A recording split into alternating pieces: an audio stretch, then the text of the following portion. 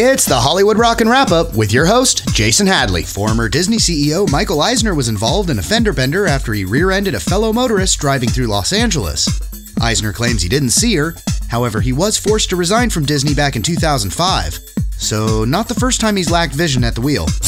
Brad Pitt, Angelina Jolie, and a few of their kids were recently spotted dining at a Subway restaurant. Considering the sandwich chain's former spokesman is currently under investigation in connection with a child pornography case, let's just say the ball pit at McDonald's would have been a much safer option.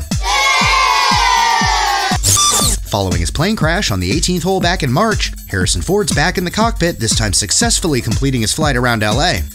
Just as a precaution, golfers shooting as he takes off and lands are now advised to shout, Ford!